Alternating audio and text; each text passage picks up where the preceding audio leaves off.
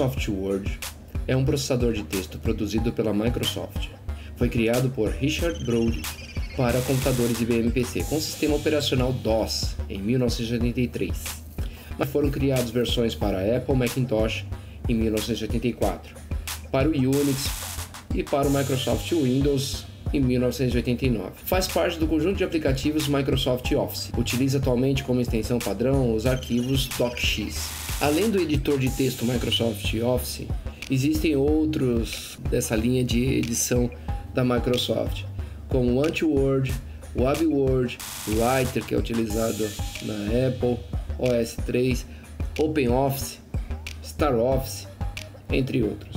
Na linha da Apple, existiu as versões 1998, 2001, 10, 2004, 2008, 2011 ou a versão 2016. Faz parte do, é, do grupo Microsoft Office, Word, Excel, PowerPoint. Além de Axis, ferramentas de tratamento de, de, de texto, imagens, entre outros. Estamos aqui com, com o Microsoft Office, ou com o aplicativo Word. Nesse exemplo, possuímos ferramentas que são específicas para edição de texto, algo rápido o conhecimento necessário para editar um texto é muito menor do que um aplicativo gráfico, mas nem por isso deixa a desejar. Na tela de entrada do Microsoft Word, nós temos uma série de exemplos que podem ser utilizados para a confecção de algum trabalho. É, nessa aula, vou apresentar como utilizar algumas ferramentas e as suas aplicações. Vou abrir um documento em branco. No documento em branco, eu vou ter as diversas ferramentas muito semelhantes aos outros aplicativos. Na linha do Microsoft Office, eu tenho as ferramentas aqui na barra e essas ferramentas permitem fazer praticamente tudo para resolver os problemas administrativos ou educacionais que ocorrem é, mediante a confecção de trabalhos de texto sempre referindo trabalhos de texto. Página inicial, menu inserir, design, layout da página, referência, correspondência, revisão, exibição, entre outros menus que estão é, ocultos que só vão aparecer quando um objeto ou outra ferramenta é, estiver disponível aqui dentro do documento de texto. Vamos começar inserindo um texto dentro do Word. Por exemplo, se eu fosse fazer um, uma capa, tá? eu clico sobre a área da folha, essa a área da folha do Word eu posso exibir de, uma, de maneiras diferentes lá no menu exibição. É muito interativo, tá? E basta raciocinar um pouquinho dá para entender e simplesmente pelo fato das conexões. Se eu quero visualizar ou quero exibir, vou no menu exibir. Para quem é fã de escrever textos, livros, jornais, algum tipo de documento, uma ferramenta bastante interessante é escrever através do modo de leitura.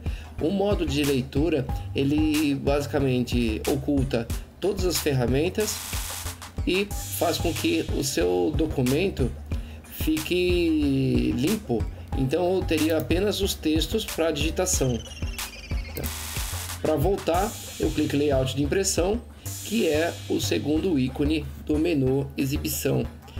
Layout de, da web, eu posso configurar um, um documento do Word e fazer vários links através das ferramentas hiperlink. Também é algo bastante interessante para quem não tem domínio muito com ferramentas de web, mas que consegue resolver os seus problemas através de um aplicativo básico, tá? Que tem a sua complexidade, mas para quem tem pouco conhecimento é possível administrar, tá? Então esses três ícones aqui estão resumidos aqui embaixo. Se eu quiser aumentar o tamanho da fonte, caso eu não consiga, é, fonte, o tamanho da página, caso eu não consiga ler, eu posso trabalhar com o zoom aqui embaixo. Ó. A maior parte aí dos aplicativos estão possuindo essas ferramentas, a, além da tecla de atalho. Tá? Por exemplo, se eu posiciono o ponteiro do mouse e aperto a tecla Ctrl no teclado, e giro a roldana do mouse, eu consigo ampliar ou reduzir. Voltando à página inicial, dentro da página inicial eu tenho grupos de trabalho, grupos de ferramentas, área de transferência, fonte, parágrafo, estilo, é, edição, tudo isso aqui é utilizado de uma maneira muito tranquila e interativa. Menu inserir, design, layout da página, referências, correspondências, revisão e o que já falei, a exibição. Vamos escrever o texto agora. Então vamos ampliar, aperto o Ctrl, gira a rodando do mouse, escrevo texto teste. Vou escrever texto. Vou escrever texto teste. Poxa, mas uma das reclamações que já ouvi é que você não consegue escrever em algum outro ponto, você precisa sempre ter uma linha de texto. Mas se eu der duplo clique, eu consigo escrever aqui, ó. E outro detalhe, é, quando eu dou duplo clique numa parte do Word, ele cria aqui um recuo, recuo esquerdo, recuo direito. E caso eu queira visualizar como estão as minhas linhas, eu clico aqui, ó, mostrar tudo, ou se não tecla de atalho, Ctrl Shift 8 no teclado alfanumérico. Ctrl Shift 8. Caso seja necessário retirar é, esse recuo, aonde eu havia clicado, eu clico seguro e arrasto para baixo. E aqui também tem um outro recuo, clico seguro e abaixo. Tá. Esses recuos aqui são os tabs. Tá, no teclado ao lado da letra Q tem a tecla Tab, aperto Backspace e aqui eu também consigo reduzir, é, eliminar, consigo eliminar através da tecla Backspace. No alto eu tenho as réguas horizontal e vertical. Para exibir ou ocultar essas réguas, vou lá no menu exibição, procuro régua ou volto régua. Caso eu vá colocar algum documento dentro de uma grade, eu tenho linha de grade. Ou eu posso ter um painel de navegação que eu vou encontrar quando eu tiver, quando eu, eu formatar o meu texto com títulos, ou eu inserir páginas, ou eu fizer uma busca. Então eu tenho opções aqui de navegação. É, algumas pessoas me perguntam como é que eu consigo visualizar todo o meu documento é, quando possui várias páginas numa forma visual horizontal. Por exemplo, eu vou inserir algumas páginas. Vou apertar as teclas Ctrl Enter, que eu posso encontrar essa, essa tecla de atalho aqui, ó, layout da página, quebras. Quebras eu tenho quebra de página, coluna, quebra de texto automático, quebra de seção e assim por diante. Eu vou inserir algumas páginas. Ctrl Enter, Ctrl Enter, Ctrl Enter, Ctrl Enter. Reparem aqui embaixo, ó, página 5 de 5. Então inserir 5 páginas. Eu vou para o início, Ctrl Home, voltei para o início. Quero visualizar todas as páginas. Eu aperto Ctrl, gira rodando do mouse.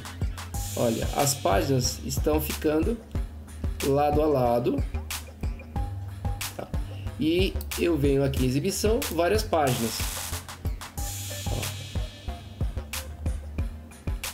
Na horizontal.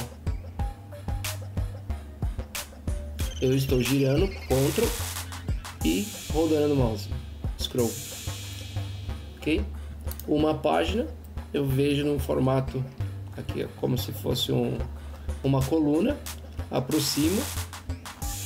Caso aconteça e que eu percebo que acontece muitas vezes, é, nesse ponto aqui, entre uma folha e outra, às vezes o usuário dá duplo clique sem perceber. E aí o que acontece com o documento? Ele, ele fica oculto. Ó, desse jeito. E aí a pessoa pensa, cadê minhas folhas? Cadê minhas folhas? As folhas estão aqui. Eu consigo visualizar, mas elas estão ocultas. Para voltar a visualizar, posiciono o ponteiro do mouse entre uma e outra e aperto duas vezes o botão do mouse. Ele voltou ao que era. Largura da página, várias páginas. É, agora eu vou pegar esse texto teste, vou selecioná-lo. Uma maneira de selecionar um documento quando eu não quero arrastar o, o ponteiro do mouse é clicando aqui no lado esquerdo. Por exemplo, eu vou trocar e vou colocar um comando que existe no Microsoft Word já faz pelo menos umas duas, três décadas. Igual, rand, abre parênteses, é, quero três parágrafos, cada parágrafo eu quero duas frases. E eu vou apertar o Enter. Vou aproximar. Vai ficar mais fácil todo mundo enxergar. Igual rand 3,2. Três parágrafos, dois, duas frases por parágrafo. Enter. E olha o que aconteceu. Eu tenho três parágrafos e cada parágrafo duas frases. Ou seja, vou dar um enter aqui só para ficar mais claro. Duas frases cada parágrafo. Quando eu dou um clique, ele seleciona uma linha. Aqui do lado esquerdo, dois cliques, o parágrafo. Três cliques, o texto inteiro. Como se eu estivesse utilizando a ferramenta selecionar tudo ou Ctrl T. Ctrl T de tatu. No Windows, Ctrl T, ele não vai funcionar para selecionar tudo. Como o comando é em inglês, seria o Ctrl A. Voltando, eu tenho o meu, meu texto é, e eu quero colocar um parágrafo, eu posso utilizar a, os recursos de, de recuo aqui em cima, aqui no alto, que são as réguas. Clico e arrasto para o lado quando eu estiver eh, me referindo à régua do início do parágrafo. Eu tenho a ferramenta de recuo, que é o, o recuo deslocado, que é o conteúdo do parágrafo. Vou voltar o início do parágrafo e eu vou clicar no triângulo voltado para cima, que é o conteúdo. Caso eu queira movimentar todo o meu documento para um lado para o outro, como aqui, o recurso é bem tranquilo. Se eu quero centralizar, clico aqui no alto, ou se não, Ctrl E, tecla de atalho posiciono o ponteiro do mouse, ele vai mostrar qual é a tecla de atalho da referência que eu estou utilizando. Esse daqui, Ctrl Q, que é o alinhamento à esquerda. Alinhamento à direita, Ctrl G. E aqui o justificado, Ctrl J.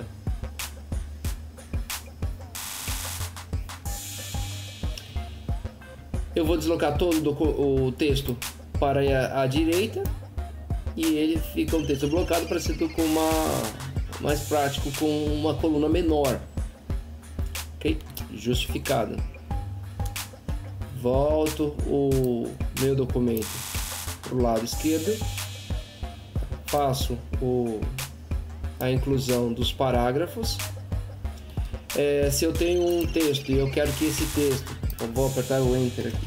Se eu quero esse texto é, em caixa alta, seleciono eu posso ir nas opções aqui de primeira letra da sentença em maiúscula, tudo minúsculo, tudo maiúsculo, colocar cada palavra em maiúscula e alternar maiúscula ou minúscula.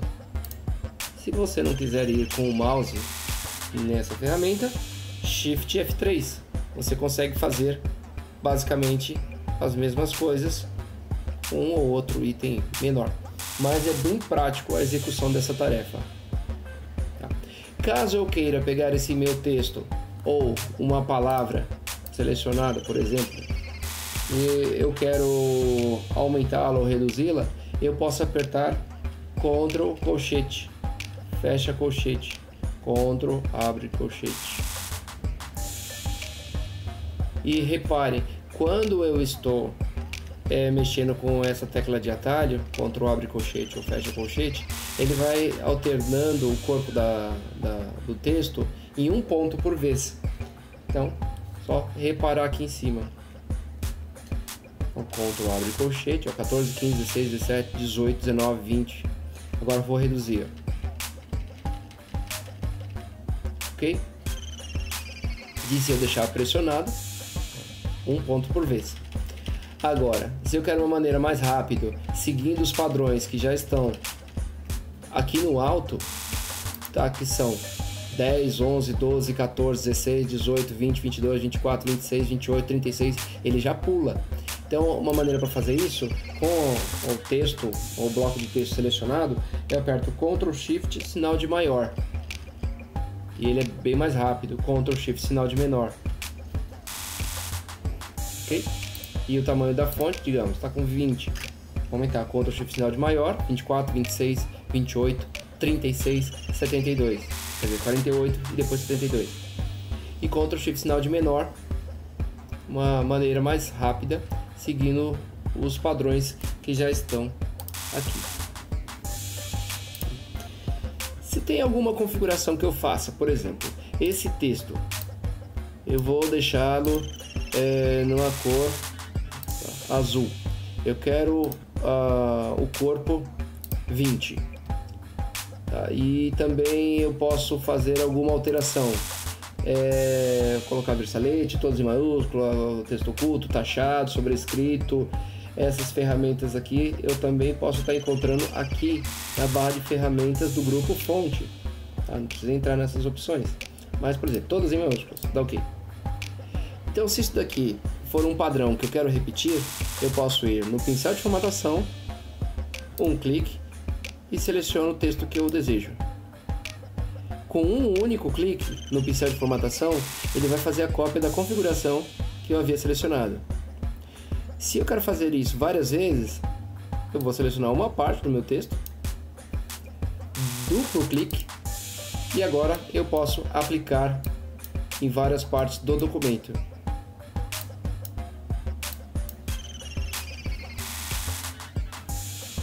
Ok?